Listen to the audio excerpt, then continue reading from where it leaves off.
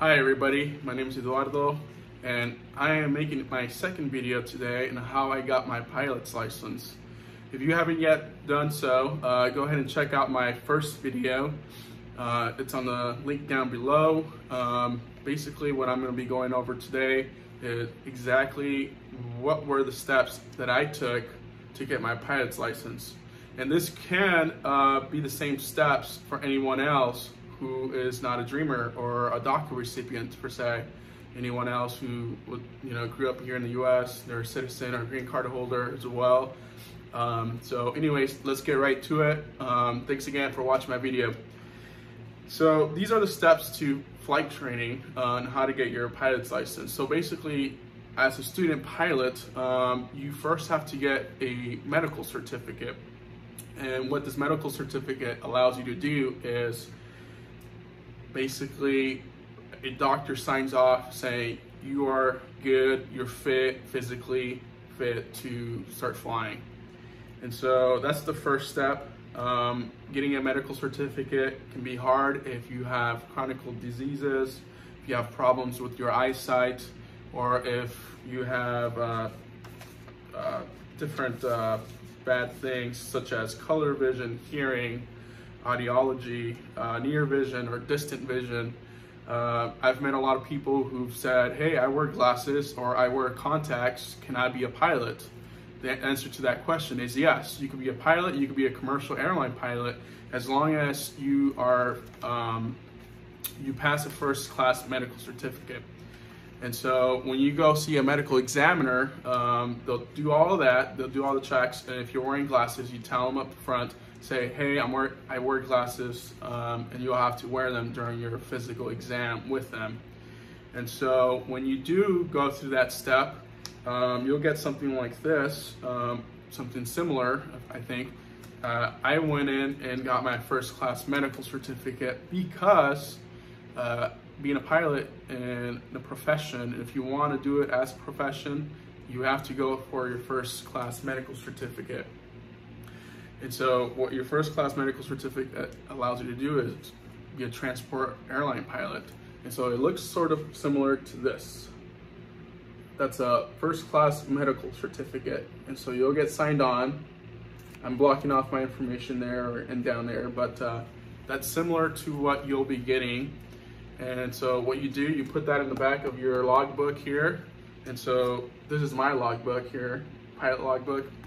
And so that serves as a good purpose to have it always on you if you're flying. And as a student pilot, you're always gonna have this with you because it holds your endorsements, and I'll get to that down the road with this video. But you basically need to hold on to your logbook because it has all the information in case you're ever ramp checked on the ramp. And basically the FAA will come on the ramp and they'll ask you for your credentials. If you don't have them on you, you get in big trouble or depends on the officer to be, be honest.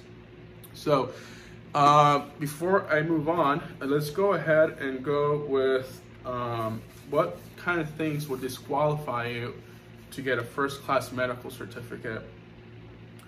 And so a couple of things that will disqualify you is angina, bipolar diseases, cardiac valve replacement, car, coronary heart disease, I'm sorry if I'm saying this wrong, diabetes, uh, epilepsy, heart replacement, myocardial infraction, permanent cardiac pacemaker, uh, personality disorder, uh, psychosis, substance abuse, substance dependence, uh, transient loss of control of nervous system functions.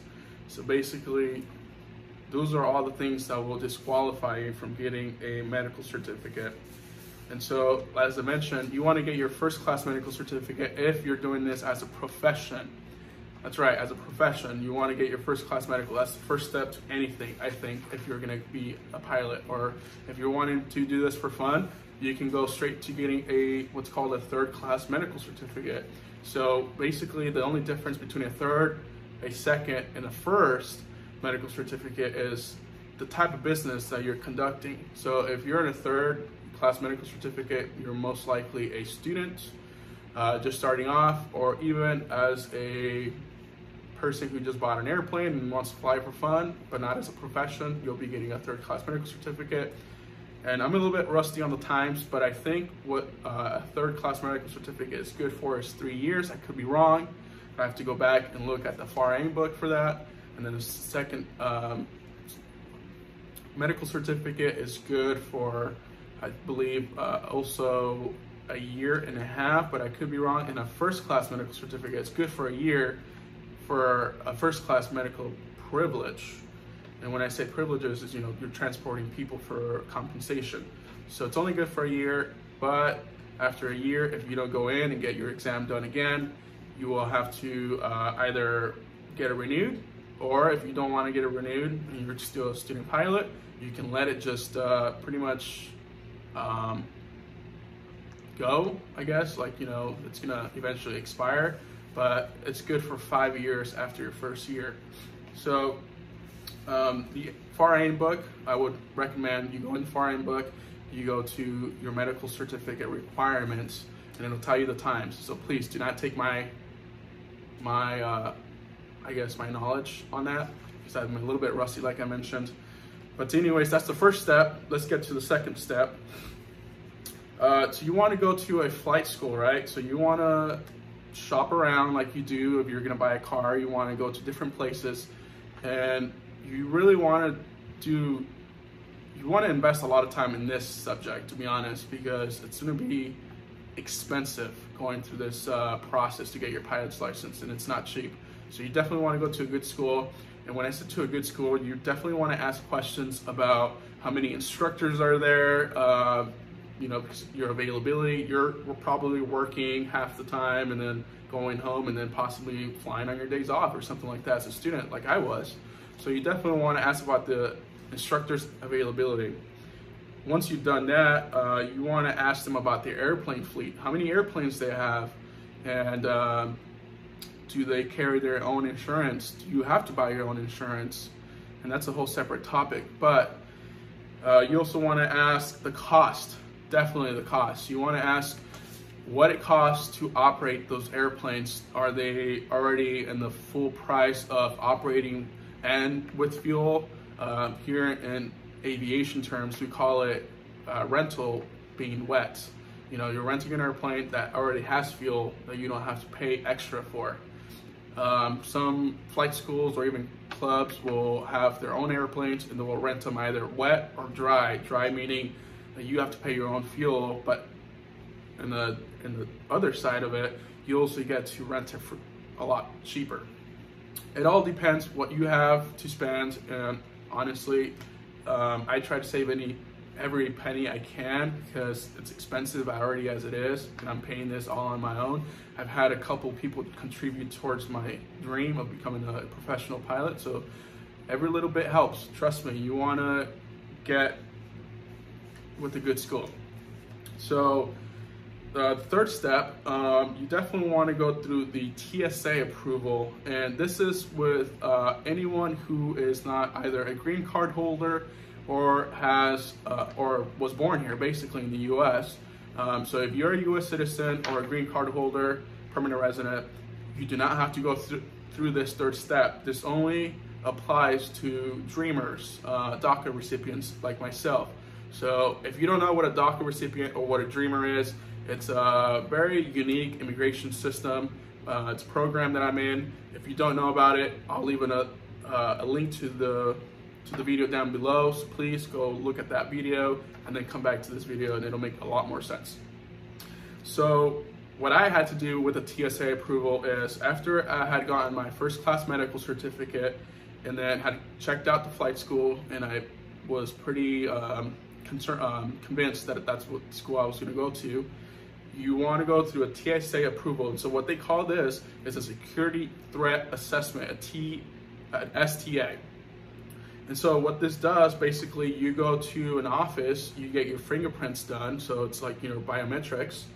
And once that is submitted, you pay $130. That's $130 as of today, June 29th, 2020. So it's $130 to submit that application with the fingerprints. And what that does, that goes through a background check with the FBI. and it pretty much does a security threat assessment, like I mentioned. Once everything comes back approved, if you're you haven't committed any felonies or you're not a criminal, you shouldn't have to worry about it, and it'll come back approved. So once they do the background check and you get approved, you'll get what's called an approval letter. And this approval letter will be given to you via email. So when you submit your application, they'll have you, um, you know, add your email where you want the final approval sent to, and not just you, but also the flight school that you're going to will also be getting a copy of it. So both parties has a, a copy of it. You want to hold on to this approval letter. Trust me, you do, because at the end, when you're finally getting your check ride done, the uh, designated pilot examiner, the DPE, they will ask for it. So you definitely want to hold on to that since you're not a citizen or a green card holder. And one last thing I wanted to mention with that as well, the TSA approval, when you're going through the application process, you want to go to www.flightschoolcandidates.gov. And once again, that's flightschoolcandidates.gov. And so you go on there and hit the link to apply for the application. And if you're just now starting off, um, which you probably are, you'll want to request a category three request. Category three, you know, it's pretty much the difference between a category three, a two, and a one is how uh, far into your career you are. If you're just starting off, you're in a category three, you're probably flying a small little Cessna um, just starting off. So anyways, I don't want to get too tied up in that. The fourth thing that I had to do, and I would really highly recommend doing this just because it's going to save you a lot of time, headache, and not just you, but your instructor as well. So you definitely want to develop a syllabus. You want to develop a syllabus with your instructor. And what the syllabus does, just like anything else in school you would have done, you write up a plan, basically what how you plan on uh, executing your flight training. Now, one thing I did want to uh, mention with this as well is when you're getting your pilot's license, there's two options that you could go, two routes, I would say. Option or route one would be going to a Part 141 school. And what this 141 school does, it's um, they already have their syllabus uh, done, and the instructors abide and go through the syllabus every single day you're training with them. And it's a lot more of a, I guess they are, how do I put this in better terms? It's more functional. Yeah, more functional and they are more precise. They know exactly what you got to do to get your pilot's license. Now, if you're doing the other option that I was going to mention, uh, Part 61, in Part 61, you're basically freelancing um, your instructor on your own and so you're doing your own syllabus, doing it on your own time, your own speed, basically. And that usually helps a lot of students at first anyways, part 61. It doesn't really matter at this point if you're doing part 141, 16, or part 61. The only difference is how the structure and how quick you want to get it done, basically. And part 141, I will tell you this, is a lot more expensive, but you're also flying more state-of-the-art airplanes. So if you got some money, you got some dough to throw, 141 it would. Anyways, uh, the fifth and final step, the fifth and final step, you definitely want to keep track of receipts. Um, I mentioned this because there was a couple times that I flew and didn't fly and I got charged. Um, the flight school that I was going to, they for some reason they charged me a couple times and I looked back at my logbook and I said, hey, wait a minute, I didn't fly this day. And the hours doesn't, you know, the flight time that you fly, it's based on Hobbs on the airplane. But if, if you're being charged for something and you didn't fly it and you have your logbook to show, you definitely want to bring that up to the customer service reps at that flight school or flight club. So those are the five things that I did. Um, I feel like I left a lot of things out, but that's basically the starter thing of things. Um, that's basically it. I'll summarize this once again. So basically, you want to get your medical certificate. Uh, it depends on you what you want to do. Third, second, first medical certificate. Second, you want to find a flight school and an instructor that you're comfortable with. Third, a TSA approval. Now with this TSA approval, it will allow you to fly for a whole consecutive year, 365 days. If you don't finish within those 365 days, you have to pay $130 again to start another application process. So, oh, and one last thing with that too. If you do move from flight schools or flight clubs for some reason, uh, your instructor is not the person that you you thought he was or she was, right?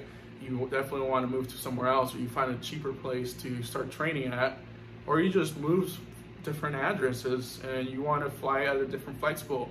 Well, guess what? If you move to a different flight school, you have to pay another $130 fee for the application for the uh, security threat assessment with TSA every single time.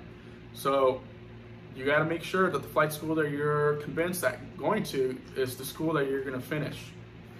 And fourth, develop a syllabus with the instructor. And then fifth, keep track of the receipts. And that's basically it. Um, I did get a lot of questions in regards to this video, and that's why I made it today. If you did like my video, please give it a thumbs up. It does help the channel. It lets me know that a lot of you are liking what I'm giving. And uh, I just wanted to mention another thing. Um, there's been a couple of dreamers that reached out to me and they've also mentioned that they're also in the aviation field and a few, a tiny portion of them are actually uh, wanting to get their pilot's license. And what I wanted to say is, you know, I thought I was the only one with being a dreamer and wanting to be a pilot. And it comes to find out, I come to find out that as soon as I made my first video, a bunch of you reached out and said, congratulations for all you've done. So thank you very much. And I also want to say, you know, to everybody, if you're in this field, keep on pushing. It's a beautiful thing. There's a shortage of pilots right now. And with COVID going on right now, a lot of the airlines are offering um, a lot of their senior pilots at the regionals or even the major airlines to retire early. So that number is just gonna blow up even more. And there's gonna be such a need for pilots here in the coming years. Uh, when I say in the coming years, maybe two, five years, we're, the US is gonna need a lot of pilots. And it's just not the US, it's globally, Asia, you know, South America. Anywhere you go, they're gonna need pilots. So anyways, uh, if you want me to make another video on something else, maybe on how much pilots make, uh, starting wages, uh, type of flying you can do with DACA here in the US domestically, or even internationally when you get your uh, green card or even a, you know, become a citizen in the US, which I hope I will, um, please just put the messages down below, uh, the questions I mean, and I'll try my best to answer them. Thanks again for watching my video. Give it a thumbs up, subscribe if you haven't and I'll catch you again next time.